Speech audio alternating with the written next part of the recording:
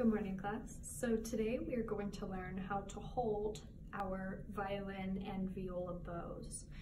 But first we will not be using our bows, we're just going to use our hands. So I want you to make a llama with your hands. So your thumb, middle finger, and your ring finger should make the mouth of the llama and your pointer and pinky are the ears.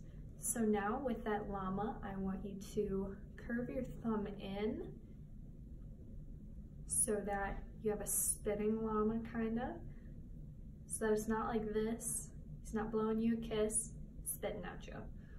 So roll your thumb in and kind of drape your middle and ring fingers over it, okay?